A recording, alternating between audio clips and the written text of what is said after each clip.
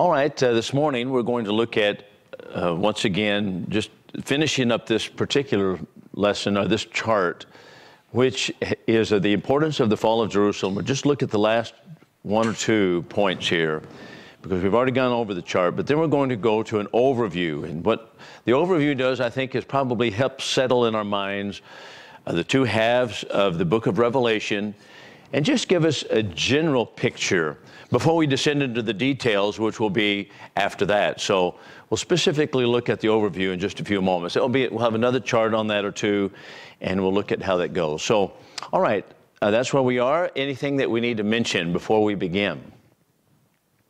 Yes, ma'am. Go slow. okay. Huh? Oh, yeah? oh, huh? Oh, I probably am. I always, that's, that's my chief fault. okay, let's have a prayer before we begin. Lord in heaven, thank you once again for this day. We thank you, Father, for the Bible, the Word of God. We pray that you'll help us to be diligent students of it. We pray that you'll help us guide our thoughts and our hearts this morning. We pray that you'll help us to live these things as, as we see them. In Jesus' name we pray, amen.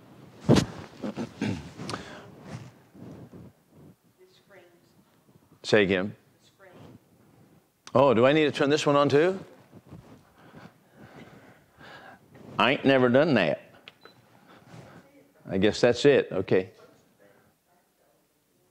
Uh huh. Well, well. Huh? Sounds like something's happening up here. okay. Well, well, well. Thank you for that. See, this, uh, I, have forgotten all about that one. Hmm.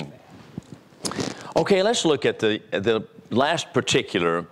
Uh, we, and we noticed number nine, I think that's where we finished last week, separated the Ju- uh, Judaism from the church, and that is uh, in the minds of the Roman emperors, in the mind of people in the world. Uh, that's what the destruction of Jerusalem did. We're talking about that which occurred at 70. And we mentioned Acts chapter 28, verse 22, when Paul came to Rome finally. And it was pretty interesting to note the language that is there used. It's Acts 28, 22 that is there used where the Jews suppose the church to be a sect of Judaism. They, compo- they supposed it to be a portion of Judaism. Now, that was the way that the Roman Empire thought of it. That's the way that many Jews thought of it. But that is not the case. And so the destruction of Jerusalem was important in the first century because it separated finally and cleanly in the minds of individuals that the church was not a part of Judaism. All right, any question on that? Any thoughts? The last point is that it also, that is the destruction of Jerusalem, settled the question as to the sons of God. Now, I want us to begin in this particular point to look at Galatians chapter 3. Galatians chapter 3. Now, we'll just notice a couple of highlights in this chapter. This is so important as to who really are the children of God. And that's what I mean by sons of God. So we know in verse 6, that's what is quoted from the Old Testament. So even as Abraham believed God, it was counted or reckoned unto him for righteousness. All right, that's, that's the starting point with which he begins. That comes from Genesis 15 and verse 6. You'll have a note on your Bible on that. Then you have, know therefore that they that are of faith, who are those? Who are those people? People of God are those who are children of faith, the same as sons of Abraham. Are, are we children of faith? Yes, we are. Are we children of Abraham? Yes, we are. Well, the scripture foreseeing that God would justify the Gentiles by faith preached the gospel beforehand unto Abraham, saying, In thee shall all the families of the earth be blessed. So, this is in the promise to Abraham those that are children of God or sons of God are those who are sons of God by faith. And that's his whole point here. And then as he tells us, verse 9, uh, verse 10 rather, as many as are of the works of the law are under a curse. That is, if you want to be following the law, you're under a curse. And he tells us how that is the case. Cursed is everyone who continues not in all things that are written in the book of the law to do them. That is, you had to keep the law perfectly all the time. And if you want to be under the law, then that's how you're going to have to do it. That's not going to be a child of God by faith, however, is it? That's going to be a child of God by earning it. So the children of God by faith are those who are, and he goes on to show us, faith of Christ. And that's the next paragraph, verses 15 and following. So let's come down till uh, to um, let's come down to uh, we'll start at verse 15. I speak after the manner of men, though it be but a man's covenant, yet when it has been confirmed, no one makes it void or adds thereto. That is, even in a covenant, but that men make between themselves. Now to Abraham were the promises spoken unto his seed. He saith not unto seeds as of many, but as of one, and to thy seed, which is Christ. That is, the seed refers to those who are in Christ. Now, this I say, a covenant confirmed beforehand by God. When did that take place? The covenant by God confirmed to Abraham. When did that take place? Where in the Bible? Genesis. Genesis 15. This, he also quotes Genesis 12 and Genesis 15. Then he tells us the law which came 430 years after, what about it? The law came later. It doesn't disannul so as to make the promise of none effect. That is, the promise is still in effect. The law didn't change that at all. It is, for if the inheritance is of the law, it is no more of promise. But God has granted it to Abraham by promise. So what then is the law? What was the law given for? Well, it was added because of transgressions till the seed should come to whom the promise has been made. And it was ordained through angels by the hand of a mediator. So now let's go down to verse 23. But before faith came, we were kept in ward under the law, shut up under the faith which should afterwards be revealed. That is the faith, Christian faith, should afterwards be revealed. What, what did the law do? Well, he says the law was that which kept us in ward. So that the laws have become our tutor to bring us to Christ, that we might be justified by faith. But now that faith is come, you're no longer under a tutor. For you're all sons of God by faith in Christ Jesus. All right, who are the sons of God? Those who are by, have faith in Christ Jesus, or the faith of Christ Jesus. Those are the sons of God. And what was the point of the law? It was simply to bring men to Christ. That's all. It was only a tutor to bring men to Christ. It was temporary. So he tells us we're sons of God by faith. For as many of you as have been baptized into Christ have put on Christ. He explains what it is to be a child of God by faith. So the Son of God by faith, and the whole point of the chapter is that Abraham was blessed, and the promise given to Abraham was that they would be children of God by faith. But he tells us that's not about the law. It's about those who have faith in Christ. That's the point. So, the sons of God, are we sons of God? Yes. We're the sons of God, children of God, people of God. Are the Jews people of God? No, they're not people of God. No. There's only one way to be a son of God that is through faith of Christ. That's the only way. So, that is the issue. That is the issue in the first century, and that is the issue, unfortunately, today in the so called Christian world. Even though he is very plain here, the children of God are those by faith in Christ, yet people say, well, no, the Jews are still chosen people of God. And you hear that all the time. And it is absolutely desecrating to the gospel. No, the sons of God are those who are by faith in Christ Jesus. That's how it was set up, and the law didn't change it at all. All right. Now that's the point here. So, thinking about that, was, uh, was the church already the people of God? Yes it, yes, it was. The church was already the people of God. Was Judaism on the outside? Yes, it was already on the outside. That's very clear here. Judaism is already on the outside. Unless you're a child of God by faith in Christ, you're not a child of God at all. Right? That's, that's exactly, now that's pretty explicit here, isn't it? All right. So they're not children of God, or the church, I should say, is not God's people only after 70. after the destruction of Jerusalem, they're already that way. So, what does the point mean here?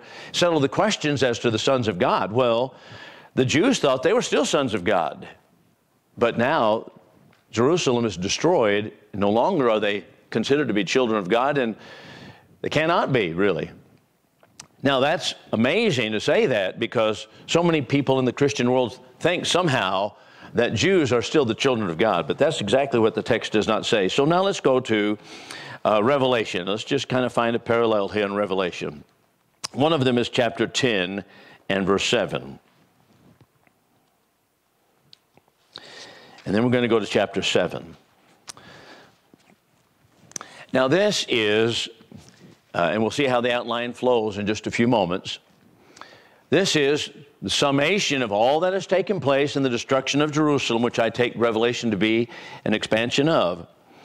He tells us in verse 7 In the days of the voice of the seventh angel, when he is about to sound, then is finished the mystery of God, according to the good tidings which he declared by his servants the prophets. What did the prophets prophesy of? What did all the prophets prophesy about? The, okay, the coming of Christ, all the Old Testament prophets. Let's look at a couple of passages real quickly. This is in Matthew, and this is 23. All of the prophets prophesied about one thing as far as destruction is concerned.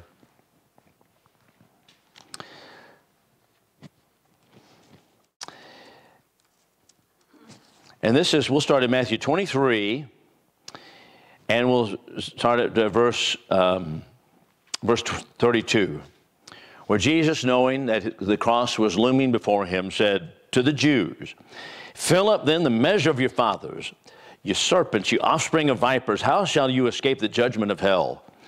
Therefore, behold, I will I send unto you prophets, wise men, scribes. Some you shall kill and crucify, some of them you shall scourge in your synagogues and persecute from city to city. Now, here's the key phrases that upon you may come all the righteous blood shed on the earth, from the blood of Abel the righteous unto the blood of Zechariah the son of Berechiah, whom you slew between the altar and the sanctuary. Verily I say unto you, all these things shall come upon this generation. All Jerusalem, Jerusalem, that kills the prophets and stones them to sin unto thee. How often would I have gathered thee together as a hen gathers a chicken under her wings, but you would not. Your house is left unto you empty. All right. So, what was Jerusalem or the Jews guilty of? What were they guilty of here in this text? Persecuting all the prophets, all of the prophets, all the prophets and wise men. They killed them, they killed every one of them. The same thing is the case in Luke chapter 21. He makes a, a comment that is here. and I'll just uh, look, look at it real quickly. Just we don't need to turn necessarily to it. But he tells us about the, uh, the same thing well, let's see, this is verses uh, 20 and following. Uh, verse 22 actually, for these are the days of vengeance, all things that are written may be fulfilled. All things that are written. Where, where were they written? Old law. The Old Testament predicted the destruction of Jerusalem. And then he tells us in verse 24 they shall fall by the edge of the sword, be led captive into all the nations. Jerusalem shall be trodden down of the Gentiles until the times of the Gentiles are fulfilled. All of that refers to the, this generation and the Jewish people at that time. But they were guilty of all of the blood from all of the prophets and all of the wise men that had gone before. And they would be taken out on that generation.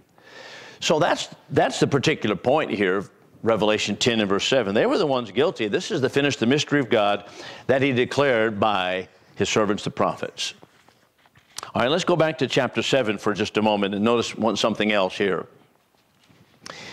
Before the destruction would take place, God sealed on foreheads people for protection, protective custody. And that's what chapter 7 is about. And he tells us the sealing of the 144,000. But you'll notice we had uh, verse 4, he tells us the number that's the number, 144,000. And he tells us they came out of the tribes of Judah, that's verse 5, Reuben, See that, verse 5, latter portion? And all the way through the tribes, down to verse 8, tribe of Benjamin, all of these. And then he says, also, there was also a great multitude which no man could number out of every nation, tribes, peoples, and tongues standing before the throne and before the Lamb. All right, what is the point here? the point is that they were the ones protected by God in a sense that would be simply they're marked as children of God in the destructive times. And that's what we have here. So the question that is the sons of God are those who are faithful to Christ, and that's what Revelation gives us. So it settled the question as to the sons of God. Who are, who are the ones protected? Well, in the destruction of Jerusalem, this is interesting. Jesus said, when you see these things taking place, that is, Rome compassed with armies, I want you to do what? What did he tell them to do in Jerusalem? Christian people, I want you to do something. To head out Head out, flee, get out. And here, Revelation 7 shows us that number that was able to get out. It's a figurative number, to be sure, it's not literal, but it is simply showing us those of the Jews who are faithful to Christ, plus other people, they'd be protected by God in the destructive powers that came upon Jerusalem. So it settled the question as to is who are the sons of God? And the Jews themselves went through a horrifying massacre because of their rejection of Jesus Christ. So that's what the importance of the fall of Jerusalem is all about. Right, any, any thoughts on that before we change gears here for just a moment? We, well, you know what? Josephus tells us they went to a place called Pella, P E L L A, which was on the eastern side of the Jordan, I think it's the eastern side of the Jordan River, which was just north and by northeast. And so they fled in that direction. And that's how Josephus puts it that Christians fled to Pella. P E L L A. It's kind of interesting. You've read Josephus, I think Stanley has, and you might have read that, how he said that Christians got out and went to Pella. Kind of fascinating, really, how Josephus shows us a contemporary historian. Now, Josephus, remember who he was. He was a Jewish general captured by Rome in the wars as the wars broke out in 66. And uh, so he was a captive. And he wrote about the history of the Jews. He wrote about his own people, even though he was in prison, Roman prison. So that's how Josephus describes it. All right, let's go on to the next particular, and that would be just a, quick overview of the apocalypse. Now, this is this is simply to illustrate generally what we have as far as the first half and second half. So I want us to get this very carefully. We have two halves of the book of Revelation. And these two halves are not to give us a successive timeline about one thing, then another thing, then another thing, then another thing in that sense at all. That's not the way that Revelation is laid out.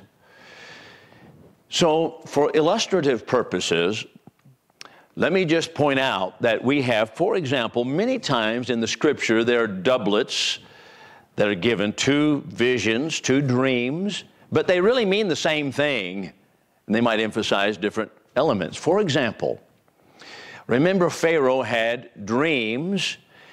He had two dreams, just as Joseph had two dreams, but the two dreams were not successive timeline of history.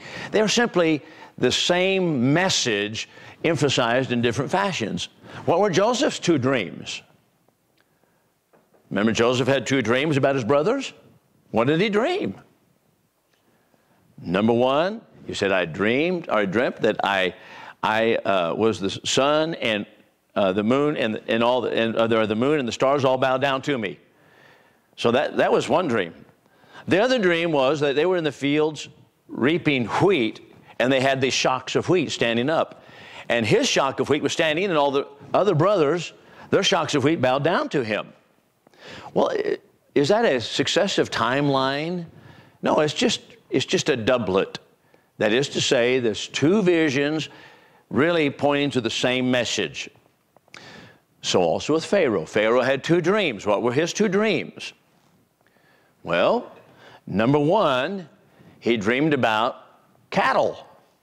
Kine, remember? And he said he had he saw these cattle and there were fat cows, and then we have seven skinny cows, and the skinny cows ate the fat cows. So, what does this mean? All right. Then he had another dream about corn. He said there was a field with corn, had a lot of corn that was ready to be harvested, and then there were there was another field with corn that was blasted and withered away, and this this devoured this corn devoured the other corn. Uh, what do these things mean? Well, the point is that both of the dreams pointed to the same particular facts. It's not a successive timeline. So also in Daniel. The book of Daniel, we have chapter 2. I hope you're familiar with Daniel's prophecies. Daniel Daniel's prophecies, chapter 2, refers to the four kingdoms of the world, and in the fourth kingdom, that would be the Roman Empire, he tells us the church would be established. That would be bringing us down to verse 44. But now he comes over to Daniel chapter 7, and he says, okay, we have four animals. And remember, there's the bear, and then there was an indescribable beast, there's a leopard, and all of these animals, and it represented different kingdoms and what would take place. Now, what's is that a successive timeline of history? No, it's just a, a duplication of the same message that we have in chapter 2, but it's under different figures.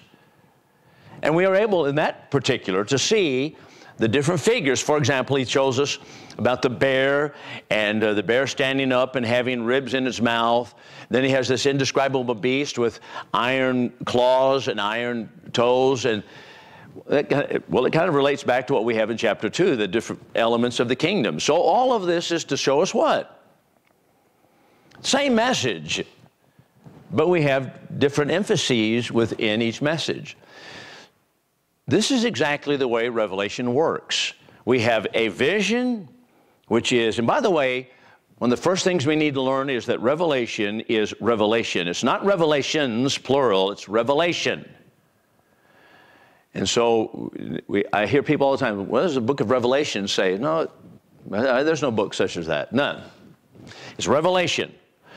And the first message is chapters 1 through 11. And it emphasizes the church, uh, particularly the destruction of Jerusalem and the escape of Christians out of Jerusalem. All right, then we have the second half, which emphasizes more the church than Jerusalem, and it emphasizes the church, but it has different emphases, but it's a doublet, it's the same thing, it's the same material, but it's presented in a different fashion, just the same as Daniel did with his four beasts. So Daniel presented the kingdom of God with a great image. Remember in chapter 2, he saw a great image, and it had head of gold, breast and arms of silver, belly and thighs of brass, legs of iron, feet of iron and clay. That represented four kingdoms. In the days of the Roman kings, that would be the fourth kingdom. God will set up a kingdom that shall never be destroyed. Now we come to chapter 7. He sees these four different animals uh, leopard, the uh, bear, the indescribable beast. Let's see, what was the fourth one? Four, the four animals. Well, all of these four animals represent the same thing. So exactly we have in Revelation. 1 through 11 emphasizes the destruction of Jerusalem and people escaping out of it. Chapters 12 to 22, it emphasizes more the church, but it's the same message presented in different figures in exactly the same fashion. Does that make sense? So that's how Revelation is presented.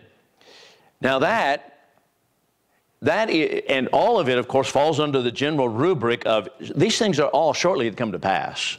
It's all a message that is very near at hand. And when we get to the letters to the seven churches, he'll emphasize that over and over and over again. These things are about to come upon you. These things are about to come upon the world. These things are about to happen. All of it very near at hand. And, and so Revelation is a doublet. That's what it is. It's a doublet. 1 through 1 through 11, specifically 4 through 11, and then 12 through 22. All right, now, here's a chart that will really bring this together, I hope, in our minds. Now, at this particular point, I don't want us to, okay, we can look at the, each chapter severally and say, what, what, does this mean? What does this mean? What does? I mean, if you want to say that, that's fine. We can ask anything you will. I'm happy to do that. But uh, what I want us to do is simply to get the general picture. And this is to demonstrate that both halves of Revelation refer to the same thing. but it emphasizes different things. It emphasizes different figures. So let's, let's look at it for just a moment. So you'll have, and I tell you what, one of them, one, the clearest, one of the clearest to me is the very bottom one. So you have, let's just look at it. Chapter 6, and this is the opening of the seals. This is the, the fifth seal. Now, when we come to an overview in just a moment, we'll look more at this, but as Revelation opens up, we're admitted into the throne room, throne room of God. And then, then who can open the who can open the book? Well, it's closed by seven seals, and only one can open the book. That's Christ. So he opens the book and he does it seal by seal. And every seal that's open has a different thing that's happening, and all of them are destructive. The first four are destructive, the, right, the horses that are riding through. And the, the seals, and all right? They're just giving us different pictures of destruction. But when you come to the fifth seal, you have an interesting picture that is given, and I want you to see what it is. He opened the fifth seal, and I saw underneath the altar the souls of them that had been slain for the word of God. All right? Now, why had they been killed? Slain means murdered. Murdered for the word of God. Why, why had they been murdered? Because they were Christians. They were not, they didn't just die in their beds peacefully.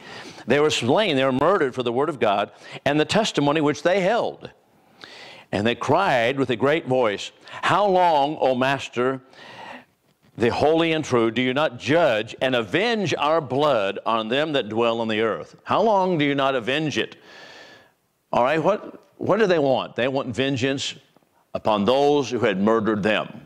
And they cry, and notice where they are. They're underneath the altar. He tells us that in verse 9. You see that? The altar. This is a picture of the temple area, and underneath the altar, they have been slain for the word of God, and they cry, How long? How long are you going to wait before you give vengeance upon those that live on the earth, those who are still living, the ones that murdered us, okay? And there was given to them each one a white robe. It was said unto them they should rest for a little time until their fellow servants also and their brethren, who should be killed even as they were, would have fulfilled their course. Just to wait a little while, wait a little while, here's what's going to happen. Now, does everybody get the picture there in Revelation 6? Don't want to go too quickly here. All right, so we have souls that have been beheaded or slain for the Word of God. They ask for vengeance. Now let's go to chapter 20. Here is the sugar stick of premillennialists. But really, if we get this picture right here, then I think we're well on the way to understanding what Revelation 20 is all about if we just get this picture right here. So let's go to verse 4. That's what we have on the chart there. All right.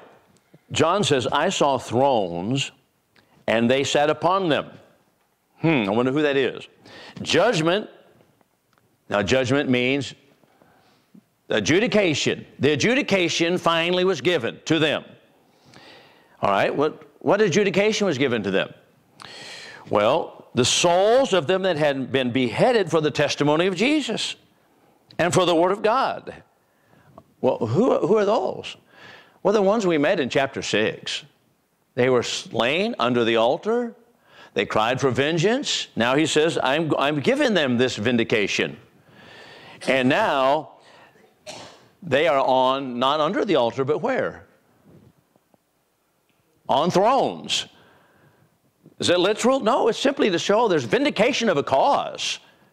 There's a vindication of a cause here, and that cause, of course, is Christianity. That's the idea. On thrones is not literal, no more than under the altar is literal. It's simply a, an apocalyptic picture of the fact that people were killed for Christ, and now we have vindication. And that's what Revelation 20 is about. Isn't that simple? And that brings it all together. But the point is, it ties it all together from chapters 1 through 11, because that was had in chapter 6. Now we come to chapter 20, the same thing, and he finishes the picture. And see how that works? And that's how Revelation is going to work continually. We'll have a picture here given in the first half, and you'll have, an, you have a picture over here given that's corresponding to it. And that's what this chart's about. All right, any question on that particular regarding Revelation 6 or Revelation 20? Does that help in understanding what Revelation 20 is not about? Number one, it does not mention you or me. Revelation 20 doesn't. Unless, you're, uh, unless you've been beheaded for the testimony of Jesus. It doesn't mention the land of Palestine, does it? No, has nothing to do with Palestine, sitting on thrones. Doesn't mention Jesus Christ at all in this picture at all, does it? And yet, premillennialists say that's, that's what includes, it includes all these things. It includes Jerusalem, they say. Well, it doesn't say anything about Jerusalem. Nothing about Jerusalem, nothing about Christ sitting on his throne in Jerusalem, nothing about the land of Palestine, nothing about you or there. It's about people who have been murdered for Christ and the cause is vindicated. That's what we have in chapter 20. So, chapter 20, right there, you can see what it obviously does not refer to. Now, let me just say this. This passage, I said at the beginning of this particular segment, is a sugar stick of all premillennialists. Because this passage, here's how they do it, okay? They're sitting on thrones, and that means, okay, they're all in Jerusalem, literally. Jesus is on his throne. It's in Jerusalem, it's in Palestine. We're going to refurbish the law of Moses, is going to start up the law of Moses all over again. And this is going to be in the future, the millennium, and we're all going to go there. And it's about me and you. Isn't it interesting? The very passage in that one they use to interpret the rest of the Bible. Everywhere. Now we see that. They have their ideas, and now they go all over the Bible and they, and they bring all these things into it. And the passage itself mentions none of these things. It's amazing to me, but that's premillennialism. Truth of the matter is, it's simply a finishing of the picture of chapter 6. So it ties it all together. So let's go back to the beginning of it, the chart that is. And we have, remember, the revelation of the Lamb, the first half, and the revelation of the bride, the second half. So we have, number one, the angel of the abyss. So let's, once again, not getting down to all the details, as I kind of did right there myself. Let's just glance at some of these things. Chapter 9 and verse 11. It's kind of interesting here.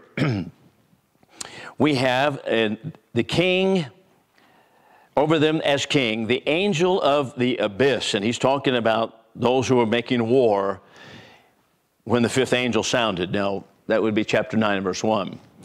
And we have the angel of the abyss. His name in Hebrew is Abaddon, which means destroyer. And in the Greek tongue, he has a name, Apollyon, which of course is the same. All right, but let's just, instead of fleshing out that picture, just turn over here to chapter 12 and verse 3. And I'm suggesting that we have in chapter 12 and 3 the great red dragon, seven heads and ten horns, is simply another picture of the angel of the abyss, who I take to be Satan. We found that in chapter 9, verses 1 and 2, a star fallen from heaven. He is called a destroyer, verse 11. But in chapter 12, we don't have that angel of the abyss here. We have the great red dragon. A different picture, to be sure, but a reference to the same thing. So let's, let's go down, look at these. Here's another passage I think is pretty clear. We looked at chapter 7. Chapter 7, verses 4 through 8, we had 144,000 that are sealed out of every tribe of Israel, sealed that is protected from destruction. And then you have after that 144,000, you have a great multitude, verse 9, that no one can number out of every nation, language, and tongue. So it includes more than 144,000, right? That's important. Why is that important? When you have people knock on your door, say, We're Jehovah's Witnesses, and we want to talk to you about the 144,000.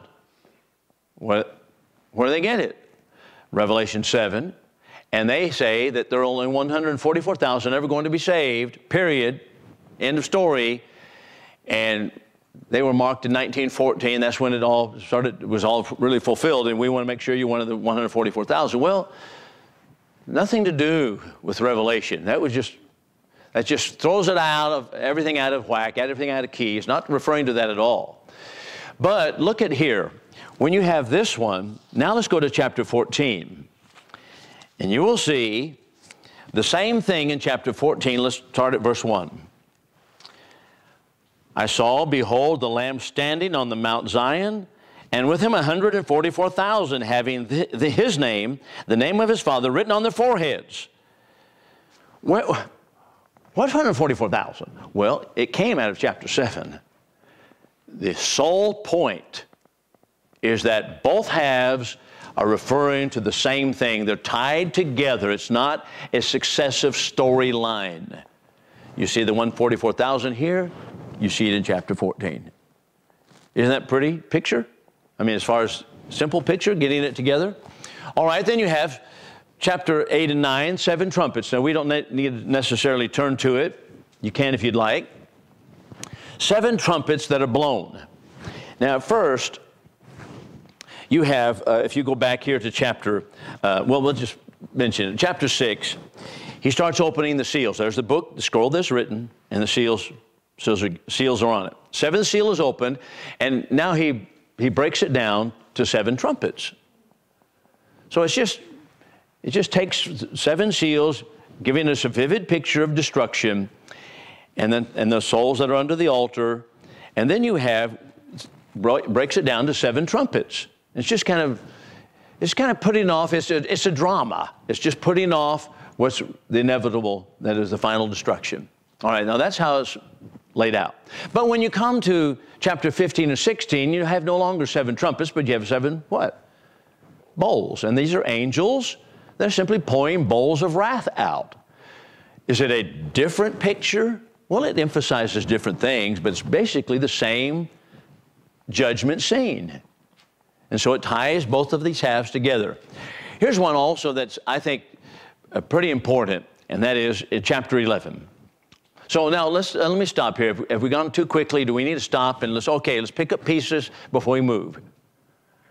All I want us to do is get a general picture that we have two halves, chapters 1 through 12, or 1 through 11, and 12 through 22, tied together. All one congregation here, see? Whether you're sitting on my le- right, left hand or sitting on my right hand here, all one congregation. Yes, ma'am. The seventh seal opened and it was broken down into seven trumpets. That's correct. Say again.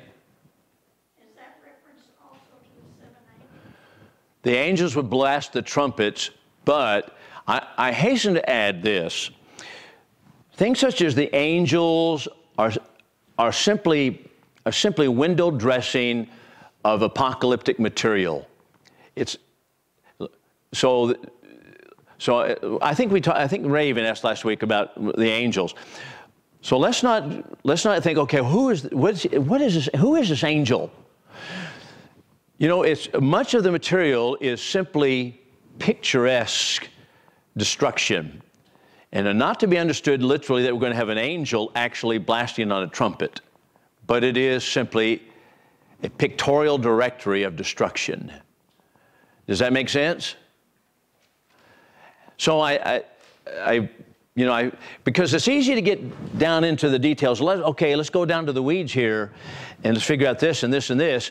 If we get the general picture, and understand that what apocalyptic literature is about. Just, just for example, it, at chapter 1, we'll have Jesus pictured as a lamb standing. Well, literally, no, he's, it's just a, giving us a picture. And it shows us, um, for example, you might just glance at chapter 1, he shows us uh, how he's dressed. For example, it says he was clothed, um, clothed the garment down to the foot, he has on his breast a golden girdle, head and hair are white as wool, white as snow, his eyes a flame of fire, his feet burnished brass. Okay, this is, this is only a picture to get you to think about Christ. It's not say, you know, this is what you're going to see when you get to heaven. It's not thing like that. It's just it's fleshing out an apocalyptic imagery. And that's the same thing as with the angels simply apocalyptic imagery. Seven trumpet blasts only are successive, or I should say, different avenues of destruction that are taking place. So, seven seals opened. Is it just seven pictures of destruction? Seven blasts of trumpets? Seven pictures of destruction. And that's all that it is. I don't know if that's helpful or not. But I think that I think that if we get down to okay, like okay, what is it? Feeders burnished brass. So what could that mean? Well, I think we're I think we're missing the point here. It's just a picture. All right. Anyway, that's my understanding of it. I'm not saying you've got to follow me. You, you might find something a little bit more edifying than that. I don't know. But, all right. So let's look at uh, the temple of God in heaven. Oh, no, the great city, the city where the Lord was crucified. Here, here we have, I think, one of the clearest, aside from chapter tw- 6 and chapter 20, one of the clearest statements. But this one here is about Jerusalem. And he tells us in verse, um, verse 19, well, actually, uh, no, I'm sorry, verse 8. We're on that one. Verse 8. So, their dead body shall lie in the street of the great city, which is spiritually called Sodom and Egypt, where also the Lord was crucified. I take it there that it's a reference to Jerusalem, and I think it's pretty simply that city that's referred to. Now, here he calls it a city. There's a city that is featured here. And the city is called Sodom and Egypt. Well, what is the city called in the second half of the book? Not Sodom and Egypt, but what?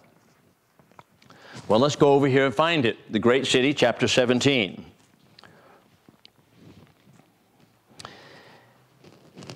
In chapter 17, whether it be verse 18 or chapter 18 and 18, the woman whom you saw is the great city Good morning. The great cities, chapter 17 and 18. What's the great city? I take it to be Jerusalem. Jerusalem referred to as the great city during that time? Well, it was by secular writers as a great city. Uh, not only did Josephus refer to it that way, but other cities did as well.